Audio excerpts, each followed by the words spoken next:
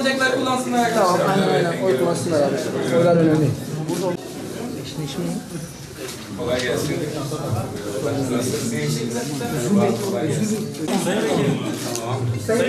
Mustafa'ya baktık. Bir de buraya. Bir de şöyle. Sayın Vekilim bir de buraya. Bir de son bir buraya. Evet buraya bakıyoruz. Sağ olun. Atıyoruz, attık. Hayırlı uğurlu olsun hepimiz için. Arkadaşlar bugün bir kez daha vatandaşlık görevimizi yaptık. Ülkemiz için hayırlı uğurlu olması temennisiyle oylarımızı kullandık. Türkiye'de 40 milyonun üzerinde seçmen de aynı görevi yapacak. Ama ümit ederiz bu bu yıl için, bu gelecekteki 4 yıl için son olsun. Birbirini takip eden bir deprem bir seçim çığıyla karşılaşmaktan rahatsızlık duyuyor vatandaşlarımız. Neredeyse son bir buçuk yılda dört kez sandığa gitmenin verdiği bir yorgunluk ve kendi verdiği talimata rağmen siyasilerin buna direnmesi, bu kararı beğenmeyip bunu gidin bir daha düşünün, bir pazar daha oy kullanın denmesinden fevkalade rahatsızlar.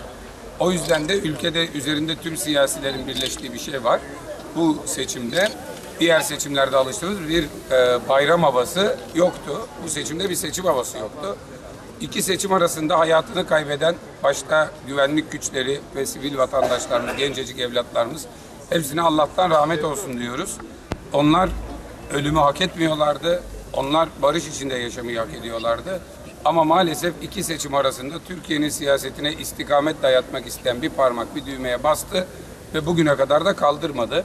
Biz bu akşam oylar sayıldıktan sonra yarın sandıktan halkın iktidarını çıkmasını, biz halkın gönlüne göre bir hükümetin çıkmasını ümit ediyoruz. Biz Cumhuriyet Halk Partisi'nin tüm milletvekili olarak ve ben grup başkan vekili olarak şunu söylüyorum. Biz 7 Haziran'da da mesajı almıştık.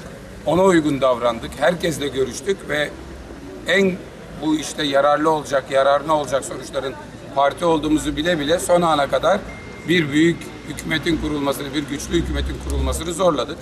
Bundan sonra ümidimiz bugün akşam sandıklardan tek başına iktidarla çıkmamız. Türkiye'de böyle bir şey olmadığı takdirde Cumhuriyet Halk Partisi üzerine düşen sorumlulukla, yapıcı tavrıyla devam edip insanların mutfaktaki ve sokaktaki yangının söndürülmesine ilişkin taleplerine uygun olarak davranacaktır. Bugün seçimin bütün Türkiye'de çok yüksek bir katılımla devam